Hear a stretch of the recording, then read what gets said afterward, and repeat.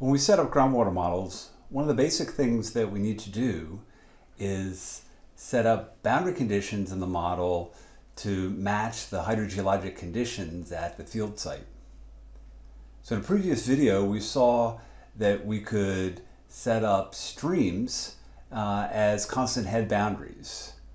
Now, typically, we'll think of uh, flowing water in a stream or standing water um, as in many cases, uh, connected to the hydrogeologic system, that the head in the stream or in surface water is the same as the head in the unconfined aquifer.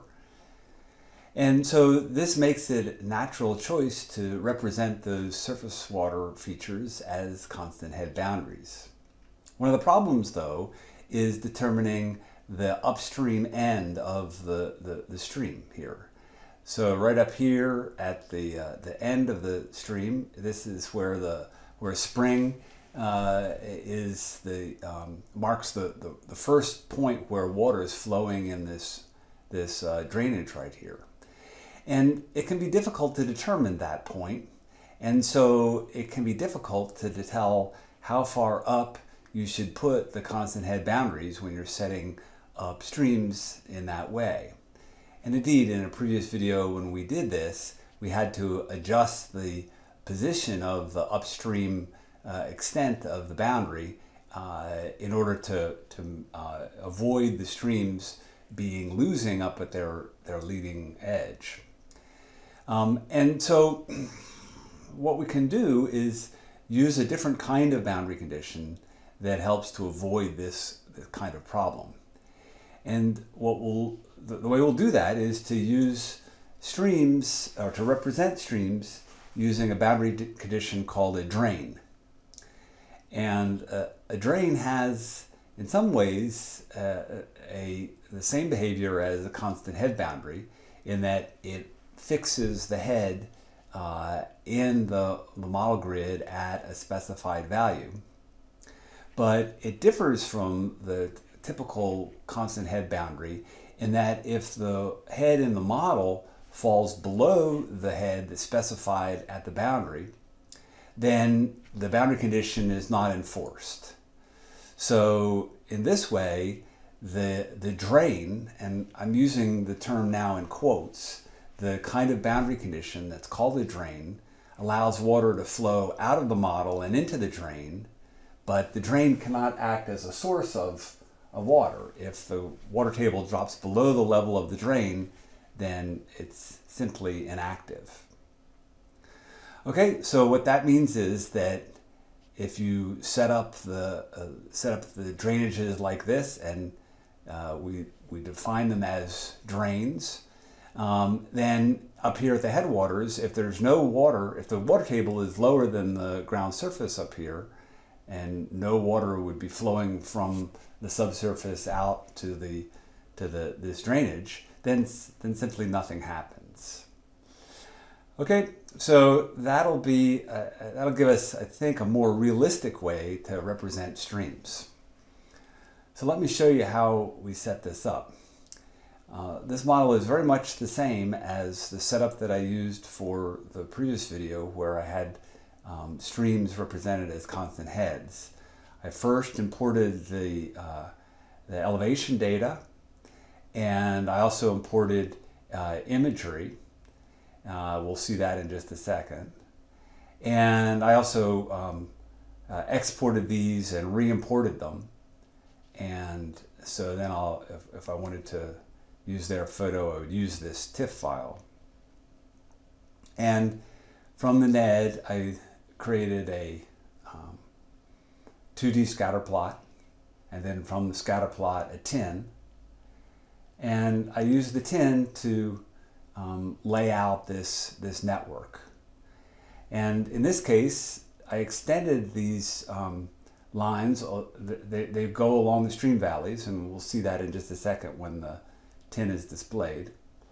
But in this case, I probably extended these, uh, th these lines, these arcs that will represent streams, I probably extended them further upstream than I did when I used these, uh, these I, I used these arcs to represent constant head boundaries.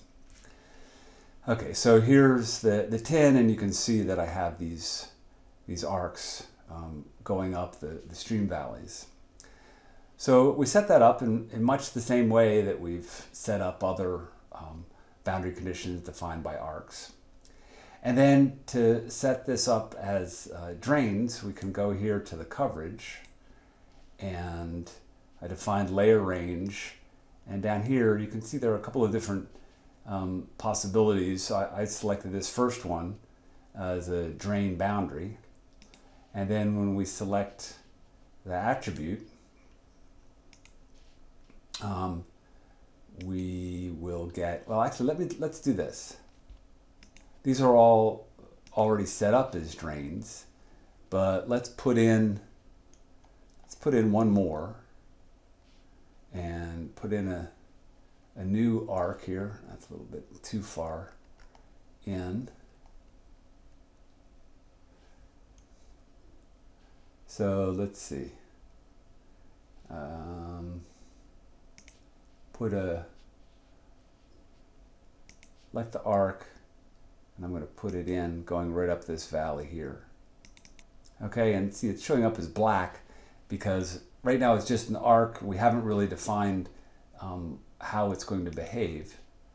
So let me just adjust this one so it follows the, uh, that's getting close. You can probably adjust that and get a little bit closer than I did. But what I want to show you is after I put in this arc, I'm going to go in here to the attribute table and let's select arc first. And um, I, I see all of these, these are the arcs that I've already defined and you can see they're set up as drains. This is the one that I just put in and this is just the default setting that you that you get when you first put in an arc and it's not really going to do anything to get it to work. I need to go and define it as drain so I could do that individually down here. Um, or I could set up the whole column right here as drained like that. Now the other thing that I need to set up for the drain boundary conditions is the conductance. And this defines the resistance to flow perpendicular to the drain and if this is, uh, if this is relatively high, then the drain just behaves as constant head. But in some cases, an actual drain or perhaps a stream might have a stream bed that is um, lower permeability than the surrounding material. And, and this might be just a thin layer. And to account for that, we can, um, we can select the conductance here. But for us, at this point, we're just going to select a value that, that is, uh, is high, so it doesn't really provide any restriction.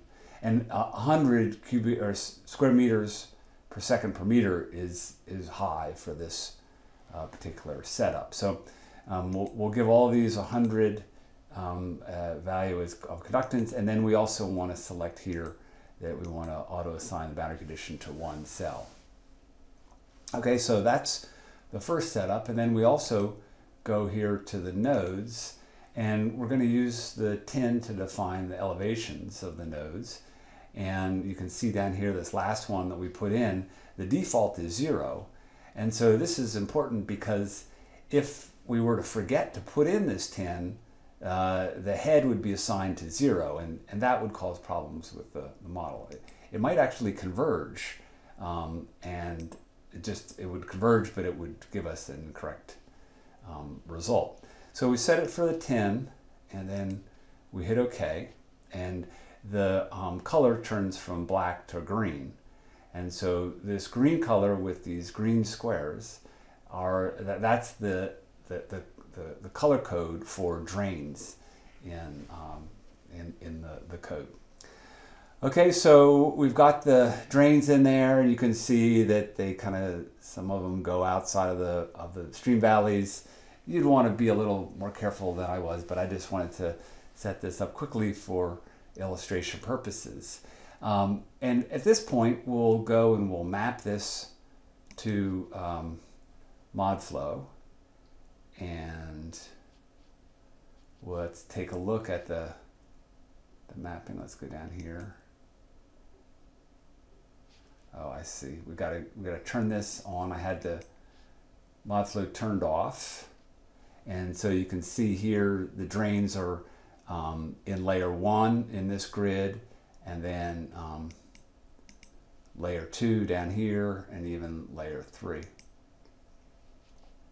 Okay, the grid that I'm using is a um, this is a, a multi-layer grid, but the all the layers are horizontal for this particular grid, um, and so that's why we see the um, we see these boundary conditions stepping from one layer in the grid to another.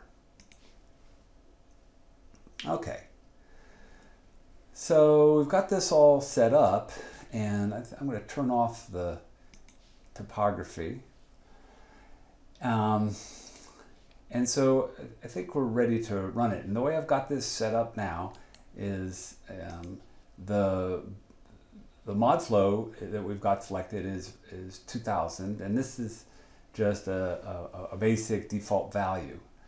Um, and this was this worked just fine when we had the heads as um, uh, had the streams as constant heads. But you can see for this case, you will see that for this case, this will be a problem. I guess actually before we run this, let me also point out one more thing. That for this particular model, what I did was to um, include this coverage here. It's called edge. And the edge is, is shown here. And these are drains that are put around the, um, the, the, the outer edge of the model. And what these will do is it'll remove water if the hydraulic head goes above this value. Um, we could also use constant head potentially. Um, and what we're doing, what it, what it did in this case was just fix the, the, the drain at the elevation of topography around the, the edge here. Now this isn't a stream, so this isn't really going to be accurate. This, this is just part of the topography and we know that the groundwater would be lower than this. But this is just to prevent the groundwater from mounding up um, like, like it may do um, if, we, if we don't put, a, um, don't put any, if we just use a, a, a no flow boundary condition here on the edge. So the, we still have some problems with the accuracy around the edge, but this is a way to reduce uh, the high heads that we might get with a, a, no flow boundary. We'll still, of course, be interested in really just having uh, accurate results here in the middle. And the closer we get to the boundaries, the more we realize that there will be some problems uh, with the accuracy of the model as a result of the boundary. Okay, so if we go ahead and run this, um, we'll let it run for a little bit. What's going to happen is that this model with the, um, the, with the simple default um, settings, this model is not going to converge. And the reason for this is because this boundary condition, uh, this drain boundary condition, gives us uh, some, some nice capabilities in representing hydrologic conditions, but it ends up being a bit tricky numerically um, to solve this problem because as the water table moves up and down as the numerical solution is sought, um, each time the, the water table moves above or below one of the grid layers, the, the location of the boundary conditions changes. And that introduces uh, nonlinearities in the problem that cause uh, the solution to um, be more difficult to, to achieve than for constant head boundaries. So you can see the, the default for this solver is 25 iterations, and I've increased that um, by, by quite a lot. And you can see the solution here is just kind of bouncing around, um, and we're not really getting a, a consistent convergence towards the right answer. So this could be kind of frustrating because th this, this in fact won't converge, and it's not going to give you the answer you want. So there are a couple of options here that um, can give you uh, some better convergence for this kind of problem. One is ModFlow NWT. Uh, so if you select NWT, you're also going to change the solver um, from PCG to an NWT solver here. So that's something to try. And that often works for this kind of problem. But when I was setting up this example, what I found was that NWT did not work for this problem, but this um, ModFlow version USG, um, it does work. And so we'll select USG for this problem, and we'll use the SMS solver, sparse matrix solver. And we'll, let's just go ahead and try that. Um, so this um, ModFlow USG, this um, had some pretty good success with this kind of problem using the ModFlow USG. It, it doesn't solve the problem as fast as some of the other solvers, but it, um, it, it, it, it seems to be more reliable in actually um, converging towards the correct answer. So actually, I, I, take that back though. Here it solved it in just a few iterations, and we have we've got a result. So um, ModFlow 2000 didn't converge, and here in just a few iterations, after five seconds, we have a result. Well, let's let's check and see how this result works. There's the hydraulic heads. And so if we look here at the contours, that all looks pretty good for head contours for um, uh, flow converging on the stream for a gaining stream. And you can see this, this, this really shows you the, the power of, of this um, approach for using drains. If we zoom in, and I that's a little bit too far, so I'm going to zoom back out. But if we take a look at these boundary conditions, um, here's the stream, and this is clearly a gaining stream because we've got the contours Ving upstream. But look, as we go further upstream, you see the contours are just crossing the stream going straight across. What that means is that there's no interaction between the stream uh, and the groundwater. And so in this case, because this is the headwaters of the stream, we interpret that, that this is simply, the, the stream is not, the stream doesn't have, the stream valley doesn't have any water in it.